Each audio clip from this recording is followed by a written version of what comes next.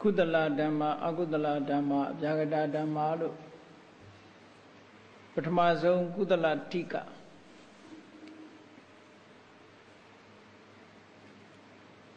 အစိုက်ကောင်းရဲ့ဆိုတာကုသိုလ်ကြောင့်မြတ်စွာဘုရားအရင်ရှင်းပြတာအကုသိုလ်မှာလည်းကောင်းစကုသိုလ်ကောင်းစကုသိုလ်အဘောစကုသိုလ်လို့သုံးမျိုးရှိတဲ့အဲ့မှာအဘောစကုသိုလ်ဆိုတော့ရှင်းတာမြတ်စွာဘုရားဘုထုမဖြစ်ဘယ်နေပါရောအ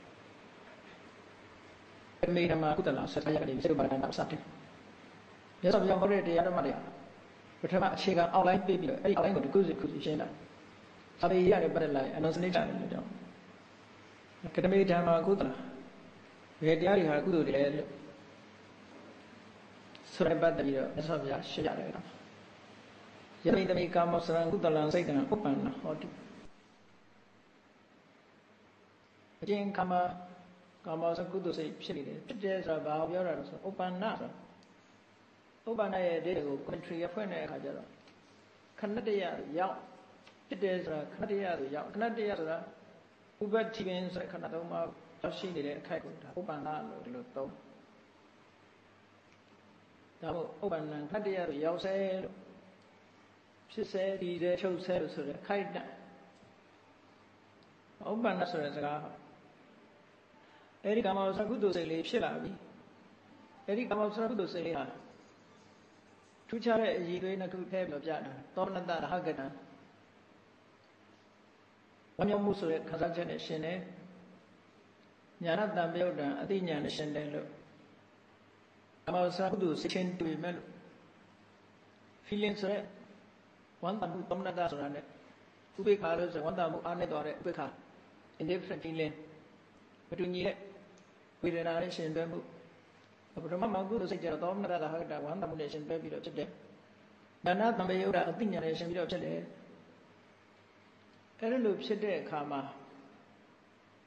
စိတ်ဆိုတာအာယုံနဲ့ကင်းပြီးတော့မဖြစ်ဘူးအာယုံကိုအကြောင်းပြုပြီးဖြစ်တာဖြစ်လို့စိတ်ကိုဖော်ပြတဲ့အခါမှာမြတ်စွာဘုရားအာယုံနဲ့တွဲဖက်ပြီးတော့ဖော်ပြလက်ရှိတယ်ရူပရမဏံဝါ အစင်းအာယုံကိုအာယုံပြုပြီးဖြစ်စေလို့မျက်စိနဲ့မြင်ရတဲ့အစင်းအာယုံတစ်ခုကိုအာယုံပြုပြီးမှဟောဒီကာမဝဆရာကုသိုလ်စိတ်တစ်ခုဟာဖြစ်နိုင်တယ်လို့ဒီလိုပြောတယ်တတ္တရမဏဝါအတန်ကိုအာယုံပြုပြီးတော့လေကာမဝဆရာကုသိုလ်စိတ်ဖြစ်နိုင်တယ်ခန္ဓာရမဏဝါခန္ဓာယုံအနံ့ကိုအာယုံပြုပြီးတော့လေကာမဝဆရာကုသိုလ်စိတ်ဖြစ်နိုင်တယ်ရတ္တရမဏဝါအယတကိုအာယုံပြုပြီးတော့လည်းပဲ ကာမဝဆရာကုသိုလ်စိတ်ဖြစ်နိုင်တယ်ဖုဒ္ဓဘာရမဏဝါအထိအတွေ့ကိုအာယုံပြုပြီးတော့လည်းပဲကာမဝဆရာကုသိုလ်စိတ်ဖြစ်နိုင်တယ်ဓမ္မရမဏဝါဒီရူပတ္တရဂန္ဓရတ္တဖုဒ္ဓဘာဆိုတဲ့အာယုန်တွေမှတပါကျန်တဲ့စိတ်နဲ့သာအသိရတဲ့ဓမ္မအာယုန်ဓမ္မရမဏတွေကိုအာယုန်ပြုပြီးတော့လည်းပဲကုသိုလ်စိတ်ဟာဖြစ်နိုင်တယ်အဲဒီလိုဖြစ်တဲ့အခါမှာဘယ်အာယုန်မျိုးပဲဖြစ်စေ နှစ်ခုတွဲပြီးတော့ဖြစ်စေသုံးခုတွဲဖြစ်စေအာယုန်တွေကိုအာယုန်ပြုပြီးတော့ဒီကုသိုလ်စိတ်တွေဟာပေါ်လာနိုင်တယ်လို့ယံယံဝါပနာရပ္ပအဲ့ဒီအာယုံ6မျိုးတဲ့ကဘယ်အာယုံကိုပဲဖြစ်ဖြစ်အာယုံတစ်မျိုးမျိုးကိုအာယုံပြုတ်ပြီးတော့ဖြစ်တယ်လို့ဒါမြတ်စွာဘုရားကကုသိုလ်စိတ်ဖြစ်တာသူ့ဘာသူဖြစ်တာမဟုတ်ဘူးအာယုံတစ်ခုကိုအာယုံပြုတ်ပြီးမှဖြစ်တယ်ဆိုတာဒီထဲမှာရှင်းပြပြီးသားဖြစ်သွားတယ် အဲ့တော့စိတ်ဆိုတာအာယုံကိုအာယုံပြုတ်ပြီးတော့မှအာယုံတစ်ခုကိုအခြေပြုတ်ပြီးတော့မှဖြစ်တယ်လို့ဆိုတဲ့ဖြင့်အကြောင်းမိအကြောင်းမရှိဘဲနဲ့အာယုန်နဲ့ကင်းပြီးတော့စိတ်ဖြစ်တယ်ဆိုတာမျိုးမရှိဘူးဆိုတဲ့အဓိပ္ပာယ်ကိုဖော်ပြတာပါဒီမှာတော့အထက်ကရာရှင်းလင်းချက်တွေကိုတော့မပြောတော့ပါဘူးသိအများကြီးအထက်ကရာရှင်းလင်းချက်တွေကများတယ်တခုတော့မှတ်သားစရာရှိတာတော့ ရူပါရမဏဆိုတဲ့နေရာမှာကောင်းတဲ့ရူပါယုံလို့ဒီလိုဖော်မပြဘူးရူပါယုံလို့ပဲတမန်ဖော်ပြတယ်တတ္တရမဏလည်းထို့တူပဲအာယုဆိုတာ desirable object ရှိတယ်လို့ undesirable object လည်းရှိတယ်ကောင်းတဲ့အာယုမကောင်းတဲ့အာယုအလိုရှိတဲ့အာယုအလိုမရှိတဲ့အာယုလို့ဒီလိုနှမျိုးကွဲပြားနေတယ်ဘယ်အာယုမှာပဲဖြစ်ဖြစ်အာယုက external condition များတာဖြစ်တယ် internal condition ဆိုတဲ့ ယောနိသောမနတိကာရရှိမယ်ဆိုရင်တော့ကုသိုလ်စိတ်ဖြစ်နိုင်တယ်ဒါကြောင့်မို့အာယုံကိုတော့အိဋ္ဌအနိဋ္ဌခွဲခြားဖော်ပြခြင်းမပြုဘဲနဲ့မြတ်စွာဘုရားကတာမန်ပဲဟောထားဒီနေရာမှာအတက္ကရာပြောထားတာလေးကမှတ်เสียကောင်းတယ်အေရူပယုတတ္တယကဏ္ဍရတ္တဖုဒ္ဓပါယုအာယုန်နေဆိုတာ ကျင့်တဲ့နှစ်သက်ဆရာအာယုန်တွေနဲ့တွေ့ပြီးတော့ဖြစ်တင်တာကလောဘစိတ်ပဲဖြစ်တင်တယ်ဘာဖြစ်လို့ကုသိုလ်စိတ်ဖြစ်ရတယ်လဲဆိုမေကွန်လေးတစ်ခုထက္ကထာမှာမေးထားနှစ်သက်ဆရာအာယုန်တွေကိုမြင်ပြီဆိုလို့ရှိရင်ဒီစိတ်ဟာဘာဖြစ်လို့ကုသိုလ်စိတ်ဖြစ်နိုင်တယ်လဲလောကလူတွေအဖြစ်များတာကြည့်နှစ်သက်ဆရာရူပါယုံကိုမြင်လိုက်ရင်လောဘဖြစ်တယ်နှစ်သက်ဆရာအတန်ကြားလိုက်ရင်လောဘဖြစ်တယ်စသဖြင့် နှစ်သက်စရာ desirable object တွေပေါ်မှာလောဘဖြစ်ကြတာ undesirable object ဆိုရင်ဒေါသဖြစ်ကြမဝေခွဲနိုင်လို့ရှိရင်မောဟဖြစ်တယ်အဲ့ဒီလိုမဖြစ်ပါပဲနဲ့ရူပယုံတတ္တယုံကဏ္ဍရတ္တယုံဖုတ္တပယုံဓမ္မယုံဆိုတဲ့ဒီအာယုံ6ပါးကိုအာယုံပြုပြီးတော့ကာမဝဆရာကုသိုလ်စိတ်ကဘာကြောင့်ဖြစ်နိုင်ရသလဲဆိုတာကိုအထက်ကထာကအကြောင်းရှာပြထားတာဖြစ်တယ်။အကြောင်းရှာပြထားတာကတော့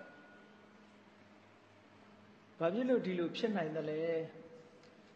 လောဘစိတ်တို့ဘာလို့မဖြစ်သင့်ဘူးလားဘာဖြစ်လို့ဒါ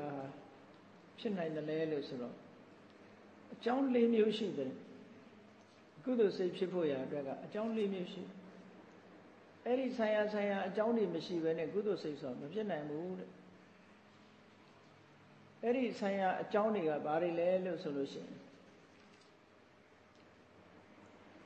နိယမိတလို့ဆိုရဲနံပါတ်1အကြောင်းကသတ်မှတ်ချက်ကိုယ်စိတ်ထဲမှာကုသိုလ်စိတ်သာဖြစ်စေရမယ်တခြားစိတ်တွေမဖြစ်စေရဘူးလို့ဆိုရဲကြိုတင်ပြီးတော့လူရဲ့စိတ်ထဲမှာ wish ဆိုတာရှိတာပေါ့ကြိုတင်ပြီးတော့နှလုံးသွင်းထားချက်ရှိရအဲ့ဒီကြိုတင်ပြီးတော့နှလုံးသွင်းထားတဲ့အချက်အလိုက်အားလျော်စွာ ဒီကုသိုလ်စိတ်ပဲဖြစ်လာတယ်ပေါ့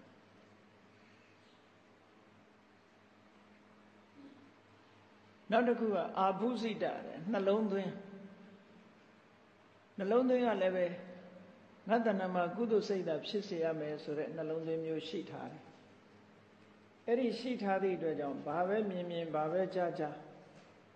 ကုသိုလ်စိတ်ပဲဖြစ်လာနိုင်တယ်ခြားစိတ်ဖြစ်လာဖို့ခွင့် ခွင့်မရှိဘူးကုသိုလ်စိတ်ပဲဖြစ်လာဖို့ဖြစ်လာတယ်နိယမိတအာဘုစိတနိယမိတဝသိဏစိတ်ကိုတတ်မှတ်ထားတာကုသိုလ်ကိုသာလုပ်ရမယ်ကုသိုလ်သာဖြစ်စေရမယ်ဆိုတဲ့တတ်မှတ်ချက်ကုသိုလ်ပေါ်မှာနှလုံးသွင်းဖြစ်နေတဲ့အာဘုစိတနှလုံးသွင်းရှိနေတာ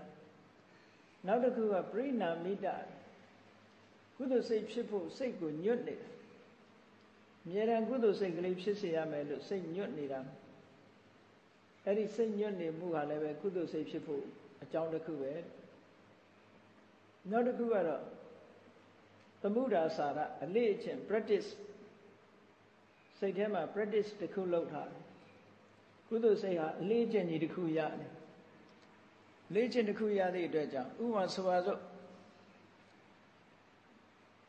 ပန်းလှလှလေးကိုမြင်တဲ့အခါမှာဖះကိုပန်းလှူတဲ့အလေးအကျင့်ရှိနေတဲ့ပုဂ္ဂိုလ်တယောက်ကအဲ့ဒီပန်းလှလှလေးမြင်လိုက်တာနဲ့တပြိုင်နက်ဖះကိုပန်းတင်ဖို့ဆိုရင်ကုသိုလ်စိတ်ဖြစ်လာဖះကိုလှူမယ်ဆိုစိတ်ကူကဝင်လာအဲအဲ့ဒီလိုစိတ်ကူးမရှိတဲ့ပုဂ္ဂိုလ်ကြတော့ပန်းလှလှလေးကိုအလှဆင်မယ်ပန်းမယ်ဆိုတဲ့စိတ်ကူးရှိတယ်အဲ့မတူဘူးသူစိတ်မှာဖြစ်ပုံချင်းမတူအဲ့တော့လေးချင်းကောင်းတွေရအောင်ဒါလှုပ်ပေးတဲ့နဲ့ လှုပ်မပေးလို့ရှိရင်ခုနအလေးချင်းကောင်းမရနိုင်ဘူးအဲ့ဒါကိုပြောတာသမုဒ္ဒါစာရ practice ဘာပဲမြင်မြင်ကောင်းတာလေးမြင်လိုက်လို့ရှိရင်ကုသိုလ်ဘက်ကိုစိတ်ကရောက်သွားတယ်စားစရာကောင်းကောင်းလေးမြင်ရင်လည်းပဲဟာလှူလိုက်အောင်မပဲဆိုတဲ့အလေးကျင့်ဟောတချို့ကြတော့အဲ့လိုအလေးကျင့်ရောက်လာတချို့ကြတော့အဲ့ဒီအလေးကျင့်မျိုးဖြစ်မလာဘူးပေါ့အဲ့ဒါကိုပြောတာ အဲ့ဒီအလေးကျင့်လေးတွေကအမတန်မှအရေးကြီးတယ်ပေါ့သမုဒ္ဒါစာရမွေးကြိုင်တဲ့အနံလေးတွေ့လို့ရှိရင်လည်းပဲအေးဘုရားကံလေးမှုအောင်လုံးလိုက်အောင်မယ်စသဖြင့်ကိုကိုကိုတချို့ကြတော့လေကိုကိုမှုအောင်လုံးမယ်ဆိုတဲ့အတွေးပေါ်မယ်တချို့ကြတော့အဲ့လိုအတွေးမပေါ်ဘူးဖရာကန်းလေးကိုမှုအောင်လုံးမယ်ဆိုတဲ့အတွေးပေါ်တယ်တွေးပေါ်တာချင်းမတူဘာ ဖြစ်လို့မတူလဲလို့ဆိုရင်ခုနပြောတယ် practice ပဲအဲ့ဒါကြောင့်မို့ကောင်းတဲ့အလေးချင်းတွေကောင်းတဲ့ practice တွေလုပ်ပေးဖို့ဒီနေရာမှာဒါမှတ်သားစရာလွန်ကောင်းတယ်အထသလေးနေထေကရာမှာမိကုံးလေးထုတ်ပြီးတော့ဒါကိုဖြေထားတာအိဋ္ဌာရမဏဆို desirable object ဆိုတာလောဘရဲ့အကြောင်းမဟုတ်လားတဲ့။ဘာဖြစ်လို့ကုသိုလ်စိတ်ဖြစ်ရတာတော့တဲ့ဆိုတော့အကြောင်းလေးမျိုးပြထားတယ်။ နိမိတဝတေနနိမိတဆိုတာအာကုသိုလ်ကငါစိတ်ထဲမှာကုသိုလ်သာဖြစ်စေရမယ်လို့ဆုံးဖြတ်သတ်မှတ်ထားတဲ့အနေအထားမျိုးရှိရ determination ပေါ့ determine လောက်ထားဒါလည်းလောက်ထားတဲ့နယ်ပေါ့ဒီလိုလောက်ထားလို့ရှင်လဲအောင်မြင်တတ်တယ်ဆိုပါစို့အိယာထတာတောင်မှ determine လောက်ထားလို့ရ မနေ့၄နာရီထိုးရင်ငါထမယ်လို့အလေးချင်းတစ်ခုလောက်ထား determine လောက်ပြီးတော့အိတ်လို့ရှင်ပုံမှန်၄နာရီဆိုလို့လာတာအဲမထဘဲနဲ့ဆက်အိတ်ရင်တော့ဒီဟာပြက်သွားတတ်တယ်ပေါ့အဲ့ဒါလို့မဟုတ်ဘဲနဲ့အလေးချင်းတစ်ခုကောင်းတဲ့အလေးချင်းတစ်ခုလှုပ်ပြီးတယ်စိတ်ထဲမှာစိတ်ထဲမှာဆုံးဖြတ်ပြီးသတ်မှတ်ထားတာပေါ့နိမိတာပရိနာမိတ inclination incline လောက်ထားတာ စိတ်ကရအမြဲတမ်း incline လောက်ထားတယ်ကုသိုလ်ဘက်ကိုစိတ်ကညွတ်ထားတယ်ဘာတွေးလိုက်တွေးလိုက်ကုသိုလ်ဘက်ကိုသွားစဉ်းစားတယ်ကောင်းဘက်ကယူစဉ်းစားတယ်ဒါ inclination ပရိနာမိတသမုဒ္ဒါစာရ practice လုပ်ထားတယ်လေ့ကျင့်တစ်ခုလုပ်ထားတယ်အာဘုစိတမှန်ကန်တဲ့နှလုံးသွင်းယောနိတော်ပနတိကာရထားတယ်ဘယ်ရာပဲဖြစ်ဖြစ်စဉ်းစားရင်ကောင်းတဲ့ဘက်ကပဲလှည့်စဉ်းစားတယ်အာဘုစိတ ဟောအချက်၄ချက်ပါဠိလိုနိယမိတာ determination ဟောပရိနာမိတာ inclination သမုဒ္ဒါစာရ practice အဘုဇိတ attention အဲ့ဒီလေးချက်ကြောင့်မို့လို့အိဋ္ဌာယုံနဲ့တွေ့ပြီမဲ့လို့လောဘမဖြစ်ဘဲနဲ့ကုသိုလ်စိတ်ဖြစ်ပါတယ်လို့အထသလိနိတက္ကရာမှာဒီလိုရေးထားတာ ဘယ်ဟာပဲဖြစ်ဖြစ်ကုသိုလ်ဖြစ်ဖို့လို့အကုသိုလ်ဖြစ်ဖို့လို့ဆိုတာဒီ practice တွေဒီအခြေခံအကြောင်းတရားတွေကအမတန်မှအရေးပါတယ်ဆိုအဲ့တော့ဒီနေရာမှာအထသလိနိအဲဓမ္မသင်္ကတိပါဠိတော်ကပြောတဲ့စကားလေးတစ်ခုကဒီကောက်ချက်ချပြီးတော့မှတ်မယ်ဆိုရင်အာယုံမပါပဲဘယ်တဲ့ဘယ်စိတ်မှမဖြစ်ဘူးမြည်သည့်စိတ်မှမဖြစ်ဘူးအာယုံကိုစွဲမိပြီးမှသာစိတ်ဆိုတာဖြစ်တယ်ဆိုတာတစ်ချက် အဲ့ဒီလိုဖြစ်လာတဲ့အချိန်မှာဒီကုသိုလ်စိတ်ဖြစ်လာတဲ့အချိန်မှာတခုတည်းအနေနဲ့စုပြီးတော့ပါဝင်လာတဲ့အချက်တွေဒါပေမဲ့ဒီပါဠိတော်မှာအထိပ္ပယ်ရှိရှိနဲ့ဓမ္မ56မျိုးစရင်ထုတ်ပြီးတော့ပြထားတယ်မဟာကုသိုလ်ပထမစိတ်ဖြစ်တဲ့အခါမှာဘယ်သဘာဝတရားတွေဟာရှင်တွဲပါလာတယ်လဲဒါ analyze လုပ်တာ တကယ်တော့ analyze လုပ်တဲ့ဆိုတဲ့စနစ်ဟာဘလောက်ခဲရင်တယ်လဲဆိုရင်ပင်လယ်ရေကြီးကိုကြည့်ပြီးတော့အေးဒီရေအပြင်အေယာဝတီကစီးလာတဲ့ရေထဲကတော့ချင်းတွင်းကစီးတဲ့ရေနဲ့ဒီပင်လယ်ထဲကရေကိုကြည့်ပြီးဒါကချင်းတွင်းကလာတာဒါပဲလာတာလို့ပင်လယ်ရေကို analyze လုပ်ဖို့အမတန်မှခက်ခဲတယ်မဖြစ်နိုင်လောက်အောင်ပေါင်းသွားပြီပေါ့ မိုးရေတွေတို့မြစ်ရေတွေချောင်းရေတွေအကုန်လုံးပေါင်းပြီးတော့ပင်လယ်ရေဖြစ်ရောက်သွားတဲ့အချိန်မှာအဲ့ဒီပင်လယ်ရေကိုခတ်ပြီးတော့ analyze လုပ်ဖို့ဆိုတာမဖြစ်နိုင်တခုတည်းလို့ဖြစ်သွားအဲ့ဒါကိုပါဠိစာပေကခဏလို့ခေါ်တယ် compactness compactness တခုတည်းလို့စုစည်းပေါင်းဆက်သွားတာအဲ့ဒီတခုတည်းလို့စုစည်းပေါင်းဆက်သွားတဲ့အရာကို analyze လုပ်ပြတယ်ဆိုတာမြတ်စွာဘုရားမို့လုပ်ပြနိုင်တာကျန်တဲ့ပုဂ္ဂိုလ်ကြီးမလုပ်နိုင်ဘူးအဲမြတ်စွာဘုရားကသဘာဝတရားတွေဟာဒီလိုပေါင်းနေတယ်ဆိုတာဘာနဲ့လုပ်ပြတာတော့ဘာနဲ့ခွဲခြားကြည့်တာတော့ဆို function တွေနဲ့ခွဲခြားကြည့်တာသဘာဝတရားတွေဟာ function ချင်းမတူဘူး characteristic မတူဘူး function နဲ့ခွဲပြတယ် characteristic နဲ့ခွဲပြတယ် အဲ့ဒီ function မတူတာ characteristic မတူတာအဲ့ဒီမတူတာတွေပေါင်းထားတဲ့အခါကျတော့တခုတည်းလို့ဖြစ်သွားအလွန်မှခွဲခြားရလောက်အောင်သုံးလေးခုလို့ခွဲခြားပြောဖို့ရခက်လောက်အောင်တခုတည်းလို့အားလုံးဟာတွဲသွားအဲ့ဒါကိုခဏလို့ခေါ်တာဒီမှာကုသိုလ်စိတ်ဆိုတဲ့ဖြစ်လိုက်တဲ့အချိန်လေးမှာ ဗိဓမတသင်္ဃာလို့ပြောမယ်ဆိုလို့ရှိရင်စေတသိက်38ဖြစ်တယ်ဆိုပါလို့အဲ့ဒီ38နဲ့မဟာကုသိုလ်စိတ်ဒီဟာလေးကတခုတည်းလို့ပေါင်းသွားတာခဏဖြစ်သွားပင်လေရည်တွေတခုတည်းပေါင်းသွားတယ်လို့ခဏဖြစ်သွားဘာကြောင့်ခဏဖြစ်သွားတယ်လဲလို့ဆိုလို့ရှိရင်ခဏက၄မျိုးရှိတယ် compactness ဘယ်ဘက်ကကြည့်ကြည့်တခုတည်းလို့ဖြစ်နေတယ်။ မာကုသိုလ်စိတ်ဟာဒီစေတသိက်တွေနဲ့ဒီလိုပေါင်းစပ်ထားတဲ့အရာဖြစ်တော်လဲပဲတခုတည်းလို့ဟာဘယ်နည်းနဲ့ဖြစ်သွားတော့ဆိုရင်နံပါတ်1ကကိစ္စခဏကိစ္စခဏဆိုတာ function ချင်းကြည့်လိုက်မယ်ဆိုလို့ရှိရင်ဒီမာကုသိုလ်စိတ်ရဲ့အားလုံးရဲ့ဒီ function ကကောင်းကျိုးကိုပေးခြင်းဆိုတဲ့ function အားဖြင့်ဆိုရင်အားလုံးဟာစုပေါင်းပြီးတော့ကောင်းကျိုးချမ်းသာကိုထုတ်လုပ်တဲ့ရှုထောင့်ကနေကြည့်လိုက်လို့ရှိရင်တခုတည်းဖြစ်နေတယ်ဘယ်လိုပဲ analyze လုပ်ခွဲထားထားကောင်းကျိုးကိုပေးတတ်တယ်ဆိုတဲ့သဘာဝအားဖြင့်တော့တစ်မျိုးတည်းဖြစ်သွားတယ်ကိစ္စအားဖြင့်တခုတည်းဖြစ်သွားတာဒါကိုကိစ္စကဏလို့ခေါ်နောက်တစ်ခုကတမုဟကဏ မာကုသိုလ်စိတ်၈ခုနဲ့စေတသိက်30နဲ့မာကုသိုလ်စိတ်တစ်ခုနဲ့စေတသိက်38ခုဟာတစ်ခုတည်းလို့ပေါင်းစပ်ထားတာအာယုန်တစ်ခုကိုပြုတဲ့အခါမှာလည်းအာလုံးစုပြုတယ်ဆောင်ရွက်တဲ့အခါမှာလည်းတစ်ခုတည်းကိုစုပြုတယ်အာယုန်ကလည်းတစ်ခုတည်းဖြစ်နေတော့နှစ်ခုသုံးခုလို့39ခုလို့ပြောဖို့ရအမတန်မှခက်တယ်အားလုံးဟာအာယုန်တစ်ခုတည်းမှာစုပေါင်းပြီးတော့နေတာဖြစ်သွားတယ်ကိဒီ ဒီဆောင်ရွက်တဲ့ကိစ္စအပြင်လည်းတခုတည်းပဲစုထားတာလည်းပဲတခုတည်းလို့ဖြစ်နေတယ်အားလုံးအစုကြီးကလည်းတခုတည်းတစုတည်းဖြစ်နေတော့တမှုဟခဏနောက်အာယုံအပြင်ကျူးလိုက်လို့ရှိရင်လည်းပဲအာယုံပြုတာတခုတည်းဖြစ်သည့်အတွက်ကြောင့်အာရမဏခဏအာယုံပြုတဲ့နေရာရှုတော့ကချင်းရင်လည်းအာယုံအပြင်တခုတည်းဖြစ်နေတယ်တန်တတိကဏ ဖြစ်စဉ်အပြင်ဆိုလို့ရှိရင်လည်းပဲအလုံးဟာတူတူပဲဖြစ်နေတယ်ဖြစ်စဉ်ကြီးတစ်ခုထဲမှာတူနေတယ်ဆိုတော့ခဏ၄မျိုးအပြင်ခွဲခြားဖို့ရခဏ၄မျိုးအနေနဲ့တခုတည်းလို့ဖြစ်ပြီးတော့နေတော့ဒီမဟာကုသိုလ်စိတ်ကိုအခုလို့စိတ်ရယ်စေတသိက်ရယ်လို့ဆိုပြီးတော့ခွဲခြားပြဖို့ဆိုတာအလွန်အလွန်ခက်ခဲတဲ့အရာကြီးပါမြတ်စွာဘုရားညံနဲ့ခွဲခြားပြလို့သာသိရတယ်လို့ဒီလိုဆိုလို့တယ်ပေါ့ အဲ့ဒါကြောင့်မို့အဲ့ဒီခဏကိုတခုတည်းမဟုတ်ဘူးဆိုတာကိုပြကြံလို့မြတ်စွာဘုရားကယတမိန်တမယေကာမောစရံကုသလံစိတ်တံဥပ္ပန္နကုသိုလ်စိတ်ဖြစ်တဲ့အခါမှာအာကုသိုလ်ကာမောစရကုသိုလ်စိတ်ဖြစ်တဲ့အခါမှာ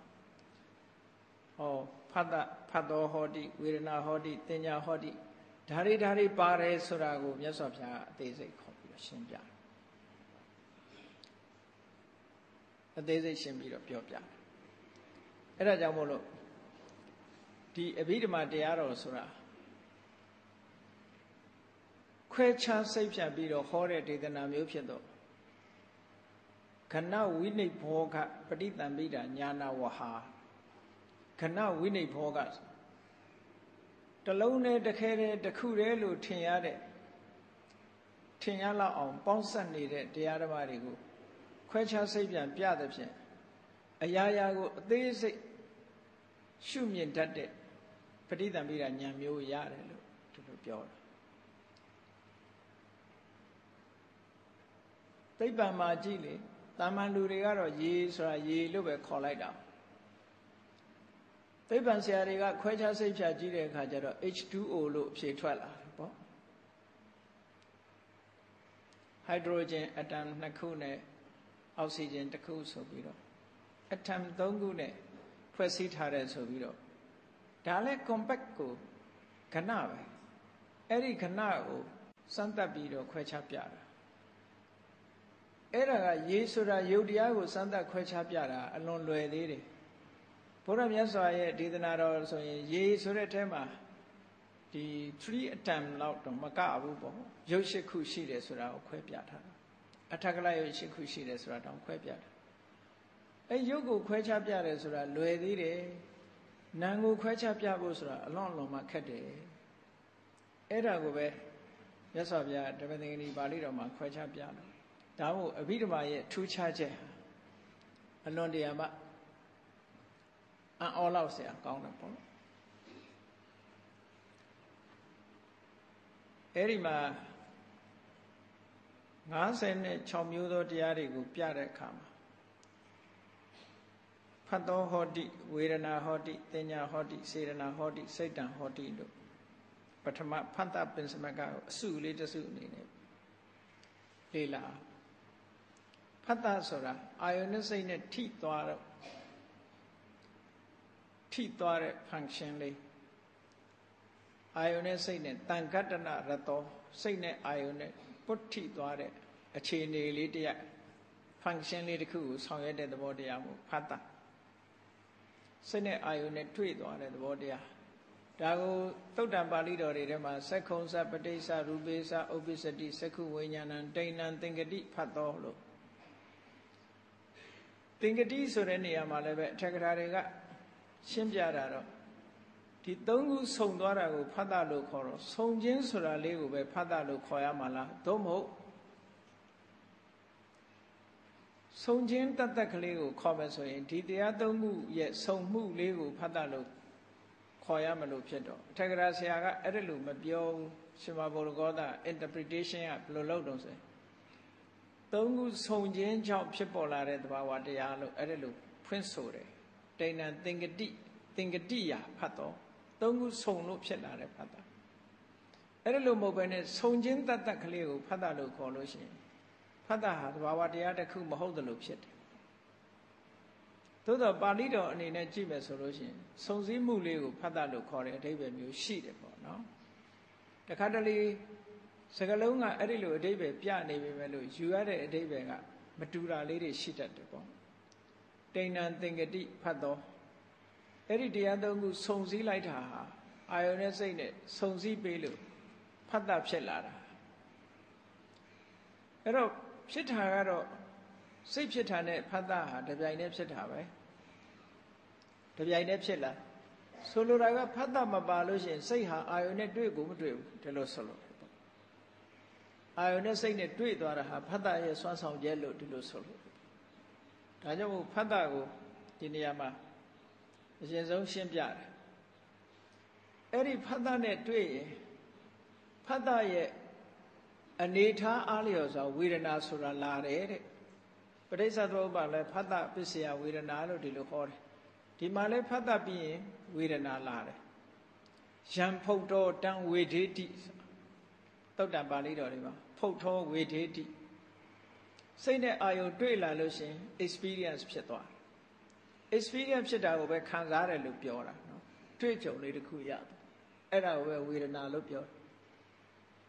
အေးဝေဒနာဆိုလို့ရှိရင်ယောဂါလို့ဒီလိုသွားပြီးတော့စိတ်ထဲမှာတွေးမိတတ်တယ်ဘာလို့ဆိုယောဂဝေဒနာတွဲတွဲပြီးပြောလို့ရှိလို့ဒီနေရာမှာအဲ့ဒါကိုပြောတာမဟုတ်ဘူးအာယုန်နဲ့စိတ်နဲ့ဆုံမိသွားတဲ့အခါမှာဆုံမိတဲ့အချိန်အားလျော်စွာ experience အာယုန်ရဲ့အရာတာကိုတွေးရှိခံစားသွားမှု ဝေဒနာဆိုတာတခါတည်းပါလာတယ်တပြိုင်တည်းဖြစ်ကြတယ်ပေါ့တရားဟုတ်ဆိုအဲ့ဒါလို့ခံစားလိုက်တာနဲ့တပြိုင်တည်းခံစားမှုကိုမှတ်တမ်းတင်တဲ့တင်ညာဆိုတာလည်းတခါတည်းပါလာတယ်ပေါ့ noting system နောက်တစ်ခါပြန်တွေ့ရင်မှတ်မိတယ်ဒါပဲဆိုတာသိတယ်ဒါကြောင့်မို့လို့လူတွေမှာဒီတင်ညာရဲ့စွမ်းအားကြောင့်ချိုးတယ်ချင်းတယ်ခါတယ်ဆိုတော့စိတ်ထဲကမှတ်သားချက်တွေဒါတွေပေါ်လာတာပေါ့နော် အဲ့ဒါတင်ညာမှတ်ထားတဲ့အတိုင်းသိတာလွယ်လွယ်မမမှတ်ထားလို့ရှိရင်လည်းလွယ်မသွားတဲ့သိတယ်တင်ညာကဒါကြောင့်မလို့စိတ်ချရတဲ့အရာတော့ reliable မဖြစ်ဘူးပေါ့စိတ်ချရတဲ့အရာမဖြစ်ဘူးတခါတရံအလားတူဖြစ်လာလို့ရှိရင်လည်းရောထွေးသွားတဲ့သိတယ်တင်ညာဥပမာပဲဒီကောင်နဲ့ခေါက်ဆွဲရောတာလို့ရောသွားရောထွေးသွားသူမှတ်ထားတာဒီရှေရှေလေးတွေမှတ်ထားတာဆို ဒီကောင်ဟင်းညိုနဲ့ခောက်ဆွဲဟင်းညိုဆိုရင်ရောသွားအောင်ပဲသူအဲအဲ့ဒီလိုရောထွေးမှုလေးတွေကိုတင်ညာဖြစ်စေတတ်တယ်ဘာလို့ဆိုသူကမှတ်ထားဒါကြောင့်မို့လူလူမပြီးတော့နှုတ်ဆက်တယ်တို့နော်လူတယောက်ဟာကိုမှတ်ထားတဲ့အဝတ်အစားအင်ကြီးတို့ hair style တို့ပြောင်းလိုက်တာနဲ့တပြိုင်နက် hair style ပြောင်းလိုက်မှမှတ်ပြီးတော့ဒီလူလူဒီပြင်လူအသေးမှတ်သွားအဝတ်အစားပြောင်းလိုက်ရင်လည်းမမှတ်မိပြန်ဘူးဟာဘာဆို तू ကမှတ်ထားတာ तू မှတ်ထားတာနဲ့တမျိုးပြောင်းသွားလို့ရှိရင် तू ကလွဲသွားတာသိတယ်ဒါတင်ညာရဲ့သဘောပေါ့အဲ့တော့စိတ်ဖြစ်လာလို့ရှိရင်ဒီသဘာဝလေးတွေကအကောင်းရဲ့အဆိုးရဲ့မဟုတ်ဘူးရှိရှိတဲ့အတိုင်းမှတ်လိုက်တယ်ဒါကိုပြောတာရှိကိုရှိတဲ့အတိုင်းတင်ညာကမှတ်လိုက်တယ်ကုသိုလ်ဆိုရင်လည်းကုသိုလ်စိတ်အနေနဲ့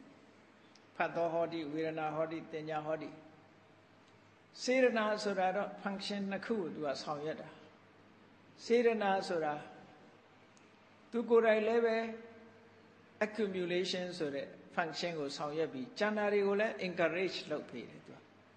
ဆိုင်ရာဆိုင်ရာကိစ္စတွေဆောင်ရွက်အောင်သူက encourage လုပ်ပေးတယ်ဒါမို့စေရနာဟာသူက function အားလုံးကိုစုစည်းပြီးတော့လုပ်ပေးတာဖြစ်လို့သူက organizer သဘောမျိုးဖြစ်သည့်အတွက်ကြောင့်စေရနာကစွမ်းအားထက်လာအားလုံးကိုစုစည်းပေးနိုင်တဲ့အရာ ဒါကြောင့်မို့လို့ကံကြတော့စေရနာကိုဥတည်ပြီးတော့မြတ်စွာဘုရားဟောလို့ရှိတယ်ပေါ့အဲ့တော့စေရနာဆိုတာလဲဒီမှာဖြစ်လာတယ်နောက်တစ်ခုစိတ်တံဟောတိလို့ထပ်ပြီးတော့ဒီမှာစိတ်ကိုထပ်ပြီးတော့ပြောတာကတော့စိတ်နဲ့စေတသိက်ဟာခွဲနေတာမဟုတ်ဘူးတူတူတွဲနေတယ်ဆိုတော့သဘောတရားကိုဖော်ပြဖို့စိတ်တံဟောတိလို့ဒီမှာထပ်ပြီးတော့ဆိုတယ်လို့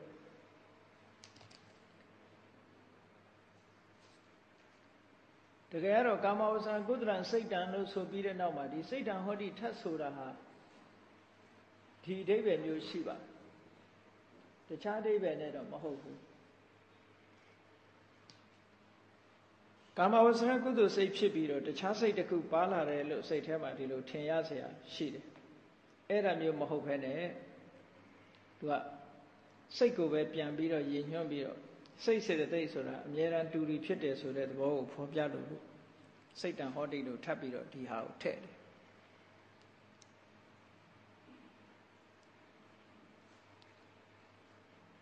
နောက်ကာမောစရကုသိုလ်စိတ်ဖြစ်တဲ့အခါမှာ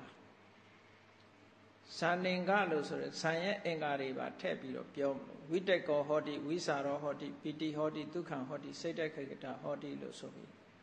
ဇာအင်္ဂါ၅ပါးနဲ့တစုပြပြအဲ့တော့အဲ့ဒီမှာမသားဆရာလေးတွေပါရှိလဲလို့ဆိုလို့ရှိရင်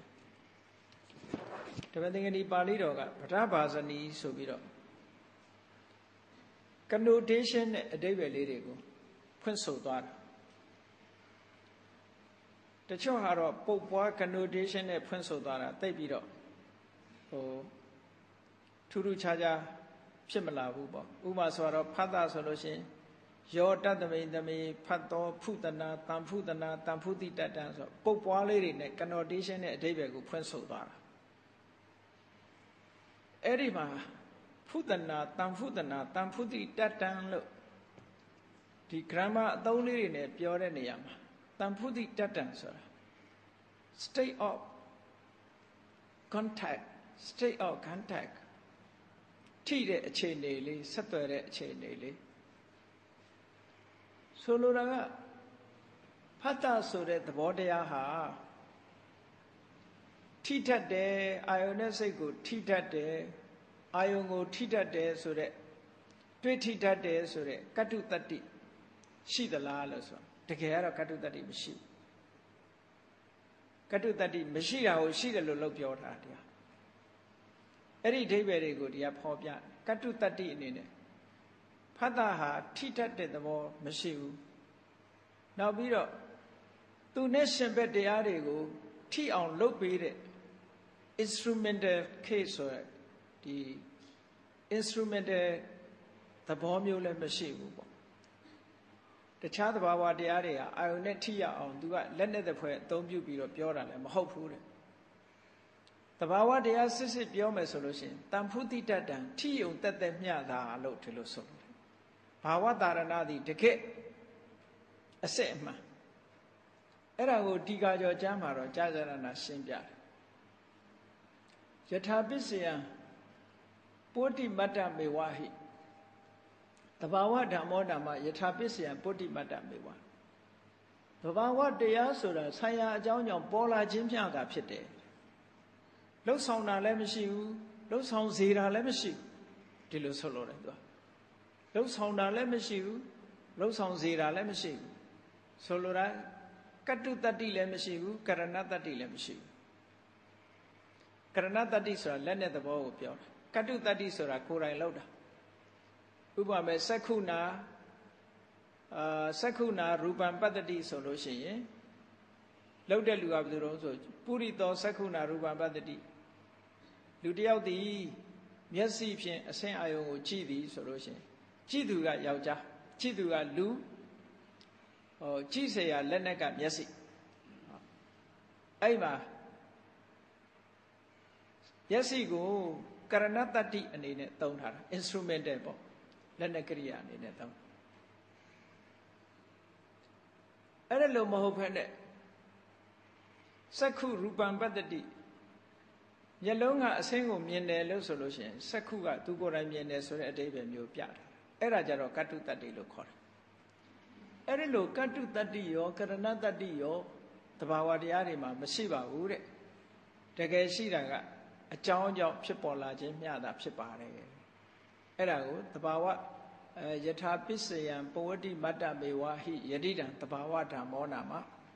တဘာဝဓမ္မဆိုတာဆိုင်ရာအကြောင်းကြောင့်ပေါ်လာခြင်းမျှတတ်တတ်ဖြစ်ပါတယ်တဲ့ဒါပဲပြောဒါကြောင့်မို့လို့အဲ့ဒီအဓိပ္ပာယ်ကိုဖော်ထုတ်ခြင်းလို့မြတ်စွာဘုရားကတန်ဖုတနာတန်ဖုတိတတ္တံလို့နောက်ဆုံးကဒီဘာဝတတိပစ္စည်းနဲ့ဟောတာလို့ဒီလိုအဓိပ္ပာယ်ယူလို့ရတယ်ပေါ့နော်နောက်ဝေဒနာကြထူးထူးခြားခြား မရှိဘူးစေရတိကံတာတံစေရတိကံသူတံလို့ဒီလိုဖွက်တယ်စိတ်ထဲမှာဖြစ်တဲ့ตาရပွဲစိတ်ထဲမှာဖြစ်တဲ့ချမ်းသာတဲ့အတွေ့အကြုံဒါကဘာလို့လို့ဆိုမဟာကုသိုလ်စိတ်ပါဆိုရင်ဒါသောမနတဝေဒနာဖြစ်သည့်အတွက်ကြောင့်သောမနတဝေဒနာနဲ့ဆိုင်တာဝေဒနာလို့တာမန်ဆိုပေမဲ့လို့သောမနတဝေဒနာကိုသာရည်ညွှန်းတာဖြစ်သောကြောင့်စေရတိကံတာတံစေရတိကံဒုက္ခံလို့ဒီမှာဟောတာနောက်တင်ညာလည်းပဲထို့တူပဲ တဘာဝတရားလို့ညွှန်ကြားကြလို့သင်္ဇာနနာသင်္ဇာနိတတံလို့ connotation နဲ့ပြတယ်အဲ့ဒီမှာထူးထူးခြားခြားမှတ်သားစရာကောင်းတာဘာလို့ဆိုရင်ဝိတက်ကောဆိုတာနဲ့ပတ်သက်ပြီးတော့မြန်မာလိုပြန်ရင်တော့ဝိတက်ဆိုတာကြံစီတာလို့ပဲပြန်ကြတယ်တွေးတယ်ကြံတယ်အဲ့ဒီဝိတက်ရဲ့ connotation တွေကို ဓမ္မသင်္ကနီပါဠိမှာတော့မှာတက်ကောဝိတက်ကော သင်္ကပ္ပောအပ္ပနာဖြပ္ပနာဆိုဒီစကားလုံးလေးတွေကိုအသုံးပြုထားတယ်တက်ကော synonymous ထားနေပေါ့တက်ကောဝိတက်ကော သင်္ကပ္ပောအတမ္မာသင်္ကပ္ပတို့じゃသင်္ကပ္ပဆိုတဲ့စကားလုံးနဲ့သုံးတော့ပေါ့နော်တက်ကဆိုတဲ့စကားလုံးနဲ့သုံးတယ်ဝိတက်ကဆိုတဲ့စကားလုံးနဲ့သုံးတယ်သင်္ကပ္ပဆိုတဲ့စကားလုံးနဲ့လည်းပြတယ်နောက်အပ္ပနာဖြပ္ပနာ အပ္ပနာဇံတို့ဘာလို့ဆိုဝိတက်ကိုဥတီပြီးပြောလို့အပ္ပနာလို့သုံးတယ်အဲ့ဒါကိုပဲရှေ့က preface တစ်ခုထည့်ပြီးတော့ဖြပ္ပနာလို့လည်းသုံးတယ်ဝိအပ္ပနာအပ္ပနာဖြပ္ပနာဒီ term လေးတွေကိုပြတယ်ဒါကအတိဘယ်ကိုဟိုသေသေးချာချာပေါ်လွင်အောင်ပြောတဲ့စကားလုံးမဟုတ် connotation လေးနဲ့ပြောတာ ပို့ပြီးတော့ဝိတက်ရဲ့သဘာဝ function ကိုပြောတာကြတော့မှတ်သားစရာကောင်းတာဒီမှာစေတသောအဘိနိရောပနာဆိုတဲ့စကားလုံးပါဝိတက်ဆိုတာစေတသောအဘိနိရောပနာစိတ်ကိုအာယုံပေါ်တင်ပေးခြင်းဆိုတာဒီဟာအမတန်မှဝိတက်ရဲ့ function ကိုထင်ရှားအောင်ဖွင့်ဆိုတဲ့စကားလုံးတစ်ခုစေတသောအဘိနိရောပနာစိတ်ကိုအာယုံပေါ်မှာတင်ပေးလိုက်တာ အဲ့ဒါကိုပဲကြံစီတယ်တွေးတောတယ်လို့ပြောတာနော်တွေးနေတယ်ဆိုကြတဲ့စိတ်ကိုအာယုံပေါ်တင်ပေးနေတာပဲလေတွေးတယ်ကြံတယ်ဆိုတာစိတ်ကိုအာယုံပေါ်အဲ့တော့ဝိတက်ရဲ့အတိပ္ပယ်ကိုအမတန်ထင်ရှားအောင်ဟောဒီစကားလုံးကဖော်ပြစေတသောအဘိနိရောပနာဆိုတဲ့စကားလုံး တခါဝိสารကြတော့ကြည်စာရောဝိสาရောအနုဝိสาရောဥပဝိสาရောဒီလိုဖွင့်စာရစရဆိုတာလှိလှိတာပဲစိတ်ကလေးဟာအာယုံပေါ်မှာလှဲ့ ဝိสารနော်ထူးထူးခြားခြားလှဲ့အနုဝိสารမပြတ်လှဲ့ဥပဝိสารကပ်ပြီးတော့လှဲ့တော့အဲ့ဒီအဓိပ္ပာယ်တွေတဲ့ပို့ပြီးတော့ထင်ရှားအောင်ဗာပြလိုက်တော့ဆိုစိတ်တတအနုတန်ဌာနတာတဲ့ဟောဒီစကလုံးကပို့ပြီးတော့သဘာဝတရားကိုပို့ပြီးတော့ထင်ရှားအောင်စိတ်တတအနုတန်ဌာနတာစိတ်ကိုအာယုန်နဲ့ မပြတ်ပြတ်မသွားအောင်ဆက်ဆက်ပေးထားတယ်အဲ့တော့ဝိတက်ကစိတ်ကိုအာယုံပေါ်မှာပို့ပေးလိုက်တယ်ဝိสารကစိတ်နဲ့အာယုံနဲ့ကွာမသွားအောင်ထိမ့်ပေးတယ်ဟောဒီအိဗယ်ကိုပြောဝိတက်နဲ့ဝိสารဝိတက်ဒီအာယုံစိတ်ကိုအာယုံပေါ်တင်ပေးလိုက်တယ်တင်ပေးလိုက်တာကိုကွာမသွားအောင်စိတ်နဲ့အာယုံနဲ့ဟာဒီကွာပြီးတော့မသွားအောင်ဝိสารကနေထိမ့်ပေးထားတယ်အနုတန်ဌာန စစ်စက်မပြတ်အောင်ဆောင်ပေးထားတယ်လို့ဆိုတဲ့အတိတ်ပဲမျိုးနဲ့အနုတန်တနာတာလို့ဒါဝိတ္တရဲ့ဝိสารရဲ့အတိတ်ပဲကိုအလွန်ထင်ရှားအောင်ဖွင့်ဆိုတဲ့စကားလုံးလေးတစ်ခုပဲအဲ့တော့ဝိတ္တနဲ့ဝိสารဟာအမြဲတမ်းလဲတွဲပြီးတော့အချို့စိတ်တွေမှာအမြဲတမ်းလိုလိုတွဲပြီးတော့ဖြစ်တယ်သို့တော့ဒုတိယဆံရောက်တဲ့အခါကျတော့ဝိတ္တမပါတဲ့ဝိสาร အဝိတကဝိสารမတ္တစိတ်ဟာအာယုံပေါ်မှာတင်ပေးเสียမလို့တော့ပဲနဲ့အာယုံနဲ့အမြဲကပ်ပြီးသားဖြစ်သွားတယ်ဒုတိယဆံရောက်တဲ့အခါကျ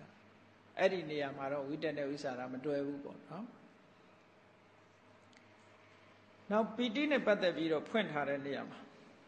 ပီတိရဲ့ connotation တွေကပါမောဇာတဲ့ဝမ်းမြောက်တယ်အာမောဒနာလွန်လွန်မြင်းမြင်းဝမ်းမြောက်တယ်ပါမောဒနာအမျိုးမျိုးဝမ်းမြောက်တယ် ဟာသပြုံးတယ်ပဟာသလွန်စွာပြုံးတယ်ဝိတ္တိကျေနပ်တယ်ဩဒချံစိတ်အားတွေတက်တယ်ဒါပီတိရဲ့ connotation အဓိပ္ပာယ်တွေပဲအဲ့ဒီထဲမှာပိုးထင်ရှားတဲ့အဓိပ္ပာယ်ကဘာလို့ဆိုရင်အတ္တမနတာစိတ်တတာတဲ့စိတ်ကလေးရဲ့အတ္တမနကိုယ်စိတ်ဖြစ်နေတာစိတ်ကလေးဆိုတာပုံမှန်အားဖြင့် သူ့တဘာဝကသူကဖြူစင်ပြီးတော့အပူပင်ကင်းတဲ့တဘာဝလေးက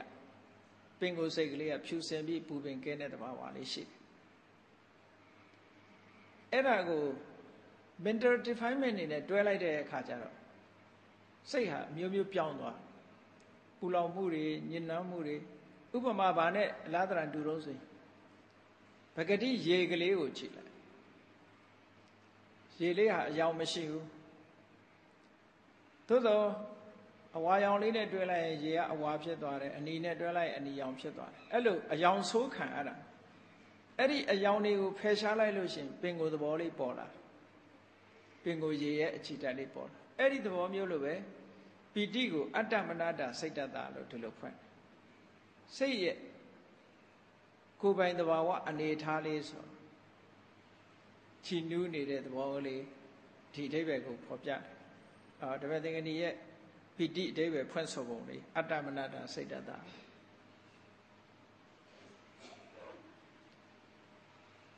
နောက်တစ်ခုဒါဝိတေဝိสารပီတိဒုက္ခဒုက္ခဖွင့်တာနဲ့ဝေဒနာဖွင့်တာဒီနေရာမှာတူတူပဲထားပြီးတော့ဖွင့်တယ်။ဘာလို့လဲတော့ဆိုရင်ဒါသောမနတဝေဒနာတွေကြီးဖြစ်လို့ပဲ။နောက်စိတ်တက်တေကကတာ အဲ့တော့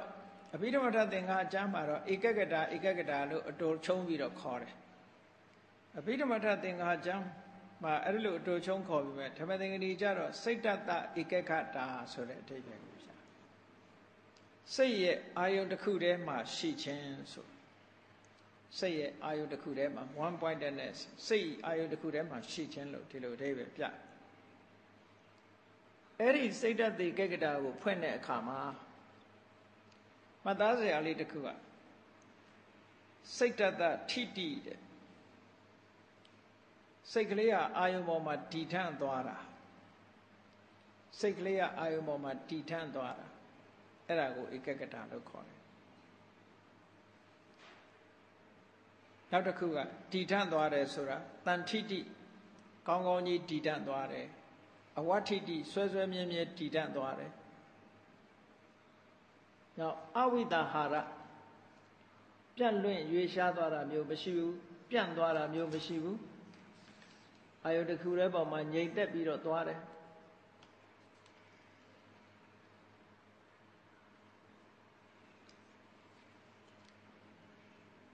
နောက်မှတ်သားစရာလေးတစ်ခုကအဲ့မှာဟောအဝိတာဟတမာနတတော ဒီဧကဂရဆိုတဲ့သဘာဝတရားလေးဖြစ်လာလို့ရှိရင်စိတ်ဟာအာယုအမျိုးမျိုးပေါ်မှာလွင်ပါသွားတာမျိုးမရှိပဲနဲ့တည်ငြိမ်ပြီးတော့နေတယ်လို့လို့ဆိုလို့စိတ်ဟာလွင်ပါသွားတာမျိုးမရှိတော့ဘူး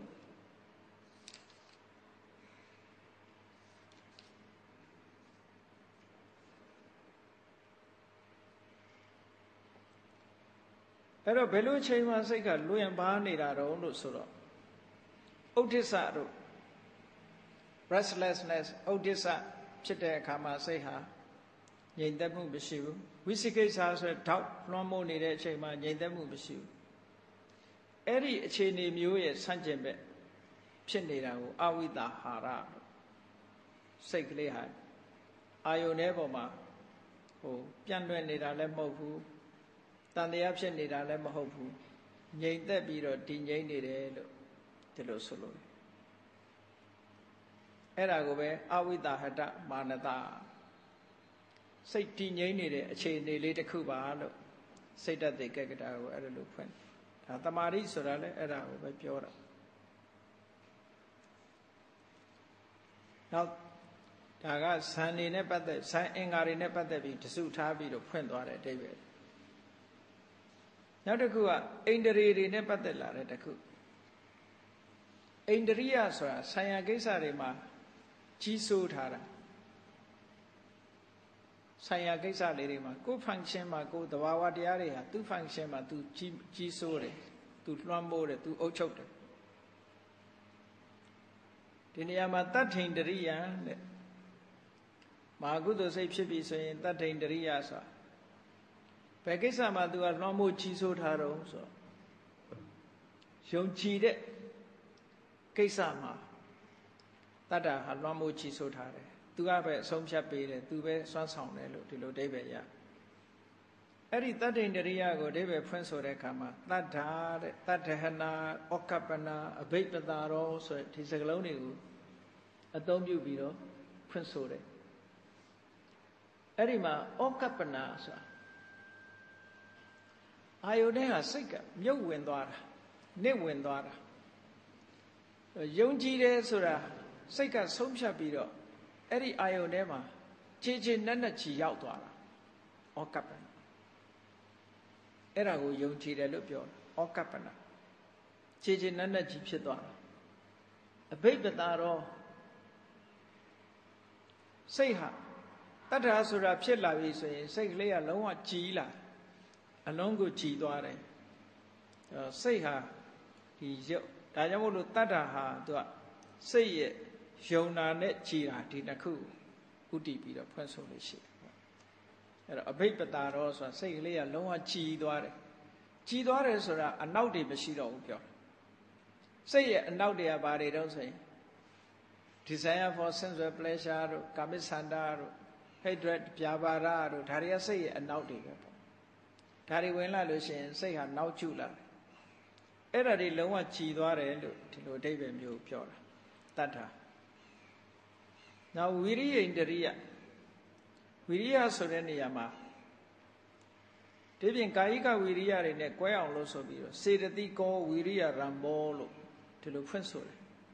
စေတသိကောဝိရိယရံဘောစိတ်မှာဖြစ်တဲ့အထုတ်ကြိုးပမ်းမှုစိတ်ရဲ့ကြိုးပမ်းအထုတ်မှုကခန္ဓာကိုယ်ရဲ့ ဒီရုပ်ခန္ဓာကိုယ် physical effort နဲ့မတူဘူးပေါ့စိတ်ရဲ့ကြိုးပမ်းအထုတ်မှုကမတူဘူးအဲ့ဒီဝီရိယရဲ့အတိပ္ပယ်ကို connotation နဲ့ပြတဲ့အခါအနိခိတသန္တာရတယ်ကိုယ့်ရဲ့ wish ကိုရှော့မပစ်ဘူးချမပစ်ဘူးစွန့်မပယ်ဘူးလို့ဆိုလို့ကျိုးပန်းအထုတ်တဲ့ပုဂ္ဂိုလ်ဟာကိုယ့်ရဲ့လူလားချက်ကိုဘယ်တော့မှမပယ်ဖြစ်ဘူးလို့ပြောတယ် စိတ်စိတ်ဆွမ်းအားထဲမှာကိုယ့်ရဲ့ဒီဆန္ဒကိုဘယ်တော့မှမပယ်ဖြစ်ဘူးအဲ့ဒါပယ်ဖြစ်လိုက်ရင်ဒါဝီရိယကျသွားတာပေါ့ကိုဘာဖြစ်ချင်လဲအဲ့ဖြစ်ချင်တဲ့ဆန္ဒကိုသူကဘယ်တော့မှချမထားဘူးဖယ်ရှားမပြစ်ဘူးအဲ့ဒါကိုဆိုလိုတဲ့အနိခိတဆန္ဒတာဆန္ဒကိုမပယ်စွန့်တဲ့သဘောပါတဲ့ဒါဝိရိယနောက်တစ်ခုကအနိခိတဒုရတာ ကျိုးပန်းအထုံးမှုလုံးလဝိရိယမျိုးအဲ့ဒါကိုလည်းပဲဘယ်တော့မှလက်လျှော့ပြီးတော့စွန့်လွတ်တာမျိုးမဟုတ်ဘူးတဲ့ဝိရိယရဲ့သဘာဝတွေကိုရှင်းပြီးတော့ပြောတာ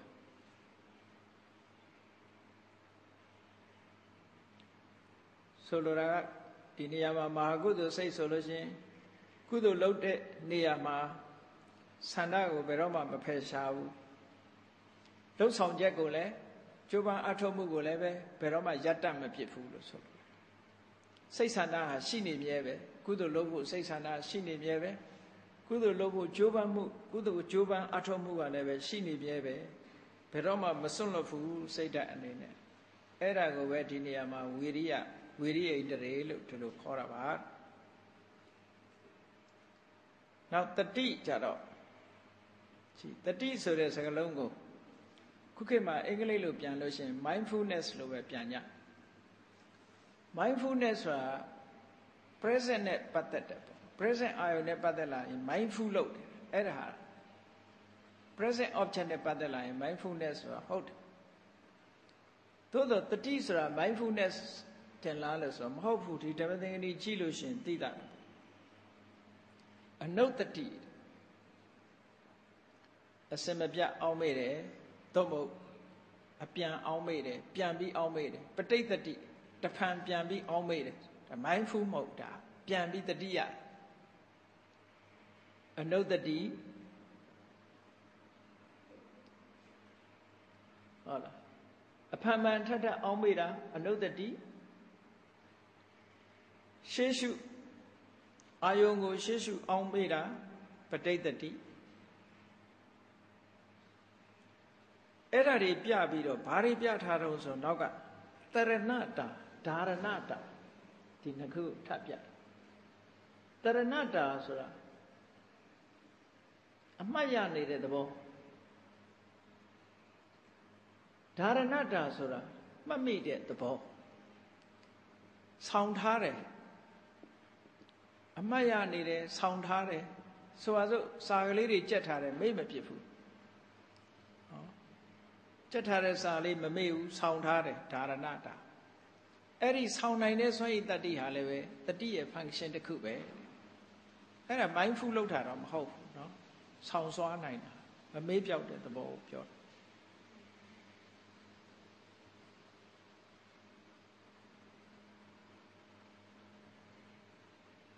နောက်အပိလပနတာ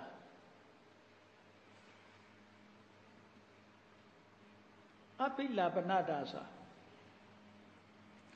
အာယုံပေါ်မှာပိလပနဆိုအာယုံပေါ်မှာပေါ်မျောနေတာပေါ်မျောနေတယ်ဆိုတာမြုပ်ဝင်သွားတာမဟုတ်ပေါ်မျောနေတယ်ဆိုတာရွေ့နေတဲ့အဓိပ္ပာယ်ကိုပြောတာဒီဟာက negative နဲ့အပိလပနတာပေါ်မျောနေတာမဟုတ်ဘူးတဲ့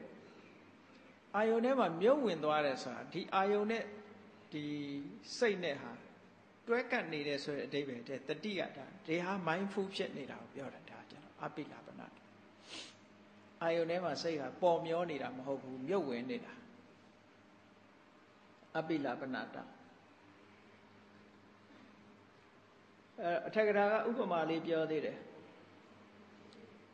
ဘူးတောင်းများဟာရေပေါ်ချလိုက်ရင်ရေပေါ်မှာပေါ်ပြီးတော့မျောနေတာအဲ့ဒါလို့ပေါ်မျောမနေဘူးတဲ့တတိရဲ့သဘောက အာယုန်ထဲမှာထက်ခနဲ့ဆိုပြီးတော့စိတ်ပြီးဝင်နေတယ်ဆိုမှတ်မိတာကိုပဲပြောတဲ့အဓိပ္ပာယ်ပဲဒါလည်းမှတ်မိတယ်အာယုန်ထဲမှာစိတ်ဟာစိတ်ဝင်နေတယ်ပို့ပြီးတော့ထင်ရှားတဲ့အဓိပ္ပာယ်ကနောက်ထပ်လာတာအတ္တမုဒ္ဒနာတာအတ္တမုဒ္ဒနာဆိုတာဟိုးလွန်ခဲ့တဲ့နှစ်ပေါင်းများစွာကလုပ်ခဲ့တဲ့ဟာတွေလွန်ခဲ့တဲ့နှစ်ပေါင်းများစွာကပြောခဲ့တဲ့စကားတွေမိတ်မပြစ်ဘူးလို့ဆိုလို့ဒါကြတော့ mindful မဟုတ်တော့ဘူးနော် remember remembrance မှတ်မိတာအဲ့ဒါကြောင့်မို့တတိကိုအဓိပ္ပာယ်ဖွင့်ဆိုတဲ့အခါမှာ present ဆိုရင် mindfulness mindfulness မှာမကဘူး remembrance မှတ်မိတာရောတတိပဲလို့တော့သုတ်တံပါဠိတော်တွေထဲမှာလဲစိရကတံပိစိရဘာတိတံပိတရိတာအနုတ္တရိတာ ဟိုးအရင်တော့ကလောက်ခဲ့တာတွေပြန်အောင်မေ့တယ်သိတယ်မှတ်မိနေတယ်ပြောခဲ့တာတွေမှတ်မိနေတယ်ဟောဒါတွေကလည်းပဲတတိရဲ့ function တွေပဲလို့ဒီလိုဆိုလိုတာအဲ့ဒါတွေအကုန်လုံးချုံးငုံပြီးတော့တရဏတာဓာရဏတာအပိလာပနတာအတ္တမုဒ္ဒနာတာလို့ဆိုပြီးတော့ဒီမှာကုသိုလ်ရေးရတဲ့ပတ်သက်ပြီးတတိကိုဒီလိုမြတ်စွာဘုရားဓမ္မသင်္ကတိပါဠိတော်မှာဖွင့်ထား တယ်တတိပြီးတော့တမာတိတမာတိဖွင့်ဆိုပုံကတော့စိတ်တသိကက်ကတာဖွင့်ဆိုတဲ့အတိုင်းပဲဘာမှထူးခြားပြီးတော့တဘာဝချင်းတူတယ်လို့ပြောတမာတိနဲ့စိတ်တသိကက်ကတာတူတူထားပြီးတော့ဖွင့်တယ်နောက်ပညာတရိယပညာရဲ့ connotation တွေကအလွန်များတယ်ရေးထားတယ်ပညာရဲ့ connotation တွေကအများကြီးပဲယာတသမိတမေပညာဒါလက်ရှိစကားလုံးတစ်ခုကိုအသုံးပြုလိုက်ပြီပညာ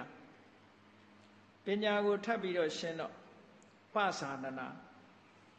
ကွဲကွဲပြားပြားသိတာပညာနောက်တစ်ခုကဝိစေယောစူဇန်နာစူဇန်နာလေ့လာတာပဝိစေယောတေးသေးချာချာစူဇန်နာနောက် object ပါထည့်ပြီးတော့ဓမ္မဝိစေယောဓမ္မကိုစူဇန်နာ သစ္စာလေးပါးတရားကိုစူးစမ်းဆင်ခြင်တတ်တာနောက်တစ်ခါတန်လက္ခဏာတဘာဝတရားတွေရဲ့လက္ခဏာကိုမှတ်သားတတ်တာတန်လက္ခဏာဒါဝိပဿနာဉာဏ်ရောက်လာတဲ့အခါကျတော့သူကနေသဒုက္ခအနတ္တဆိုတဲ့တဘာဝတရားတွေကိုမှတ်နိုင်လားမှတ်တယ်ဆိုတာအဲ့ဒီစကားလုံးတွေကစပြီးတော့လာတာတန်လက္ခဏာ ဥပလက္ခဏာပစ္စုပလက္ခဏာမှတ်နိုင်တယ်အနိကမှတ်နိုင်တယ်သေသေးချာချာမှတ်နိုင်တယ်ဆိုတဲ့အဓိပ္ပာယ်တွေနဲ့တန်လက္ခဏာဥပလက္ခဏာပစ္စုပလက္ခဏာဟောပညာရဲ့ function တွေကိုဒီမှာထုတ်ပြီးတော့ပြောပညာရဲ့ aspect တွေကိုပြနောက်တစ်ခုကပန္ဒိษံလောကမှာပညာရှိပညာရှိလို့ခေါ်တာဒီပညာကြောင့်ခေါ်တာပဲပန္တိတတ္တဘာဝ ပန္ဒိษံ state of wise wise man state of wise man nature of wise man ဒီလိုဆိုလို့ပန္ဒိษံပန္တိတဆိုတဲ့ပုဂ္ဂိုလ်နေလားပန္တိတဆိုတာပညာရှိပညာရှိလို့ခေါ်တာဘာကြောင့်ခေါ်တော့ပညာကြောင့်ခေါ်တာပညာရှိလို့ခေါ်ရခြင်းအကြောင်းကောတန်လကုသလတဘာဝကောတန်လစကီကျွမ်းကျင်လိမ္မာသူဘာကြောင့်ကျွမ်းကျင်လိမ္မာသူလို့ခေါ်တာတော့ ဟောဒီညာကြောင့်ခေါ်တာဒါကြောင့်မို့ကောတန်လနေပုံနနိပုဏတိမ်မွေးတဲ့အ내ဒိဗ္ဗေတွေကိုသိတာပညာပဲနေပုံညာဝိဘပြဝိဘပြဝိဘာဝစာထင်ထင်ရှားရှားကြီးသိတာအသိဉာဏ်ကဝိုးရဝါရမဟုတ်ဘူးထင်ထင်ရှားရှားသိတတ်လို့ဝိဘပြ အဲ့ဒါတွေကိုသဘာဝနဲ့တခါထပ်ပြီးတော့ရှင်းတယ်စိန်တာတဲ့ဒါကသဘာဝတရားတွေကိုကြံစည်တယ်ကြံစည်တယ်ဆိုတော့အသိဒီခုနကဝိတက်ကြံတွေးတာနဲ့မတူဘူးတရားဝိတက်ကကြံတယ်ဆိုတာအာယုန်နဲ့စိတ်နဲ့တွေ့ပေးတဲ့သဘောစိတ်ကိုအာယုန်ပေါ်တင်ပေးတာကိုဗမာစကားမှာသွားရောတယ်အဲ့ဒါတွေကနော်ဗမာစကားမှာသွားရောနေကြံစည်တယ်ဆိုရင်ဝိတက်အခုဒီနေရာမှာစိန်တာလို့ပြောလိုက်တာဖြစ် အနေဆစတဲ့ characteristic တွေကိုတွေးတောဆင်ခြင်တတ်တဲ့ပညာကိုပြောတာဒီနေရာစိန်တာဟောဒါပို့ပြီးတော့ထင်ရှားတဲ့ဥပပရိက္ခာဥပပရိက္ခာဆို investigation ပဲ investigate လုပ်တာ examine လုပ်တာစူးစမ်းဆင်ခြင်တာဒီစကားလုံးကို Sanskrit မှာအများကြီးသုံးတယ် ဟိုမတ္တယမိက philosophy မှာဆိုလို့ရှိရင်ဥပပရိက္ခာဆိုတဲ့စကားလုံးကိုသူသုံးတယ်ဥပပရိက္ခာဆိုပြီးပัจเจยပရိက္ခာအကြောင်းကိုဆင်ခြင်သုံးတတ်တဲ့ ဥပပရိက္ခနောက်ဘူရီတဲ့ဒါဉာဏ်ရဲ့ပညာနဲ့ပတ်သက်တဲ့ connotation တွေအများကြီးပဲရသော်ဘူရီဆိုတာမြေကြီးကိုဘူရီလို့ခေါ်တာ မြေကြီးလို့ကျယ်ပြန့်တယ်အတိတ်ပဲမြေကြီးလို့ကျယ်ပြန့်တယ်ပညာရဲ့နယ်ပယ်ဟာအလွန်ကျယ်ပြန့်တယ်လို့ဒီလိုပြောသိစရာတွေများသလိုသိစရာတွေရှိသမျှလိုက်သိရမှာမို့ပညာလည်းပဲသိစရာများသလောက်သူကလည်းကျယ်ပြန့်တယ်လို့ပြောတာနော်အဲ့တော့မြတ်စွာဘုရားကြတော့ကြည်ဖရာကိုတုံးထားတာယာဝတကံညေယံတာဝတကံညာဏံသိစရာတွေရှိသလောက်ညာကလည်းအကုန်လိုက်သိတယ်လို့ပြောတာ ဉာဏ်နဲ့သိစရာနဲ့ဟာတစ်ထပ်သေးပဲ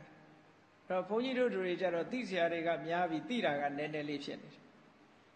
ဟောအတိုင်းတာချင်းကတအားကွာသွားပြီပေါ့ကိုသိတာလေးကနည်းနည်းလေးသိစရာတွေကအများကြီးကျန်နေသေးတယ်ရသော်ဘုရားကြတော့ယာဝတကံညေယံတာဝတကံဉာဏ်နာသိစရာတွေရှိသလောက်ဉာဏ်ကြီးကအကုန်လိုက်တယ်ကာဘာဖြစ်နေတယ်အကုန်တရားမို့ဒီမှာဘူရီဆိုမြေကြီးထုခဲ့သူကြီးကျယ် နောက်အဓိပ္ပာယ်တစ်မျိုးဖွင့်ထားတာရှိသေးတယ်ဘူရီဆိုတဲ့နေရာမှာမှန်ကန်တဲ့အ내ပဋိပ္ပယ်ပေါ်မှာပျော်မွေ့တယ်အတိညာဟာ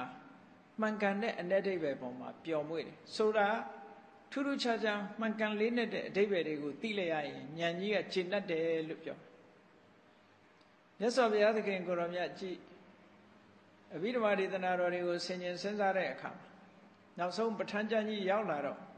သိစရာတွေအများကြီးသိတယ်ဉာဏ်ကလည်းကြက်စားလို့ရတယ်ဉာဏ်နဲ့သိစရာအာယုန်တွေနဲ့လိုက်လေလိုက်လျောညီတွေဖြစ်လာတဲ့အခါကျတော့အမတန်မှစိတ်ကချမ်းချမ်းမြေ့ပြီးပျော်မွေ့လာတယ်ပီတိတွေဖြစ်လာတယ်ပီတိတွေဖြစ်လာလို့အဲ့ဒီစိတ်ကြောင့်ဒီစိတ်တစားယုတ်တွေကလည်းပဲခြိလင်းပြီးတော့လာတယ်ခြိလင်းလာလို့စိတ်တစားယုတ်ကြောင့်စိတ်စိတ်ကြောင့်ဖြစ်တဲ့အလင်းရောင်တွေလည်းပဲထွက်လာတယ်ရောင်ကြီးတော်တွေထွက်သွားတယ်ဆိုတာအဲ့ဒီအတိတ်ပဲ စိတ်ကြောင့်ဖြစ်တဲ့အယောင်တွေဖြစ်လာနောက်တစ်ခုကမေဓာတဲ့မေဓာဆိုတာမတိတာတွေစိတ်ရဲ့အညစ်အကြေးတွေကိုဖြည့်ဆည်းရှင်းလင်းပေးနိုင်တယ်ဆိုတဲ့အဓိပ္ပာယ်နဲ့မေဓာလို့ဒီလိုနောက်အဓိပ္ပာယ်ကမေဓာဆိုတဲ့အဓိပ္ပာယ်ကမေဆိုတာလျင်မြန်တာဓာဆိုတာမှတ်နိုင်တာအတိညာဆိုတာအာယုံလာတာနဲ့တပြိုင်နက် လင်းလင်းမြန်မြန်ဖမ်းပြီးတော့သိနိုင်တယ်လို့ဆိုလိုတယ်ညာညာသွေးရဲ့မတန်ထက်မြက်တယ်လင်းလင်းမြန်မြန်သိနိုင်တယ်ဆိုတဲ့အဓိပ္ပာယ်အဓိပ္ပာယ်နှစ်မျိုးပေါ့ပထမအဓိပ္ပာယ်ကတော့စိတ်ရဲ့အညစ်အကြေးတွေကိုဖယ်ရှားနိုင်တယ်ဒုတိယအဓိပ္ပာယ်ကလင်းလင်းမြန်မြန်မှတ်နိုင်တယ်ဆိုတဲ့အဓိပ္ပာယ်နောက်တစ်ခုကဘာပြောထားတော့ဆိုပရိနာယိကာဆိုတဲ့စကားလုံးကိုသုံးပြတာပရိနာယိကဆိုတာ ဒီအသိဉာဏ်ဖြစ်လာပြီဆိုလို့ရှိရင်ကိုယ့်အတွက်အကျိုးရှိဖို့အကျင့်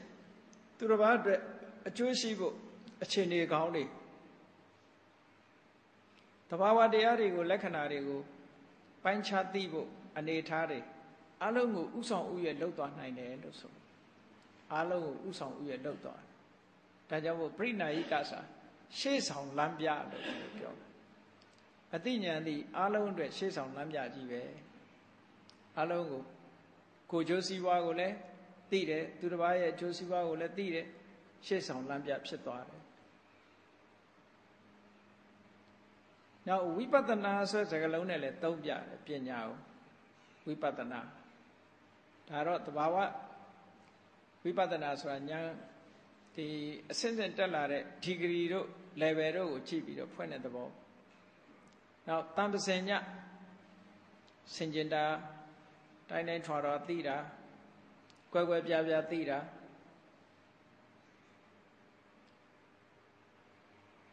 တန်ပစင်ညာလို့ပြောပြီးတော့နောက်ထပ်ဘာဟောတော့ဆို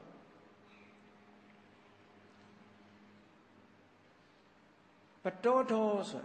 ဒါကြတော့ metaphorical metaphor နဲ့ပြမြတ်စွာဘုရား ပညာကိုနှင်တန်လို့သုံးလိုက်တယ်ဒီနေရာပညာဟာ metaphorical metaphorical အဖြစ်ပညာပတောတော်လို့ပတောတော်ဆိုတာဒီမြင်းနေပါတွေမြင်းနေပါတွေကိုသူကလမ်းကြောင်းတင်ပေးတဲ့သဘောပတောထလို့ခေါ်တယ်နှင့်တန်တပြာပေါ့နှင့်တန်တပြာအဲ့ဒါ metaphorically use ပေါ့ figurative word အနေနဲ့သုံးလိုက်တာပညာကိုနှင့်တန်လို့သုံးတာအဲ့ဒီမြင်းထမ်းမောင်းတဲ့ပုဂ္ဂိုလ်ဟာမြင်းတွေကိုလမ်းကြောင်းပေါ်တင်တဲ့အခါကျတော့နှင့်တန်ကိုအသုံးပြုပြီးတော့တင်ရတယ်လမ်းကြောင်းမှားနေလို့ရှိရင်သူကလမ်းကြောင်းပေါ်ရောက်အောင်ဟောဒီနှင့်တန်တပြားကိုအသုံးပြုပြီးတော့ဒီပညာကလည်းပဲတဲ့စိတ်ဆိုတဲ့မြင်းဟာလမ်းမဘက်ကို တွေးပြီးတော့အာယုံရောက်သွားလို့ရှိရင်သူကနေပြန်ပြီးတော့လမ်းမှန်ကိုတင်ပေးတယ်လို့ဆိုပြီးပညာနဲ့နှင်တန်တဲ့ကိုတင်စားပြီးတော့သုံးတဲ့စကားတစ်ခုနောက်ဒီစကားလုံးထပ်သုံးတယ်ပညာပညာတရိယံပညာဗလံပညာဟာလည်းစွမ်းအားတစ်မျိုးဖြစ်သည့်အတွက်ကြောင့်ပညာဗလပညာတတ္ထဒါလက်နဲ့တစ်ဖွဲဖြစ်တယ်ဓာတ်တစ်ဖွဲဖြစ်တယ်ဓာတ်သည် ဖြတ်တောက်လို့ရတယ်လို့ပဲပညာကလည်းကိလေသာတွေကိုဖြတ်တောက်ပေးနိုင်တယ်လို့ဆိုတဲ့အဓိပ္ပာယ်နောက်ပညာပါတာတော့ဒါလည်းတင်စားပြီးတော့သုံးတာ metaphorical words ဆိုလို့အဲ့တော့ပါတာရလို့ဆိုတာအထက်ကိုမြင့်တဲ့ပညာသည်အလုံးတဘာဝတရားတွေထဲမှာမြင့်တဲ့အမြင့်တက်ဆုံးဖြစ်လို့အကြီးချင်းမြင့်ဆုံးဖြစ်လို့ပညာပါတာရောလို့ဒီလိုပြောတာစစ်မြင့် မြင့်မားတယ်ဆိုတဲ့အဓိပ္ပာယ်ကိုပြောတယ်ပညာအာလောကောဒါအလင်းရောင်နဲ့တင်စားပြီးတော့သုံးတာပညာဩဘာသောတောက်ပတဲ့အယောင်နဲ့တင်စားပြီးတော့သုံးတာဒါလည်းပညာပစ္စောတော်ဒါတွေကအလင်းရောင်ကိုတင်စားလိုက်တာပညာအာလောကောပညာဩဘာသောပညာပစ္စောတော်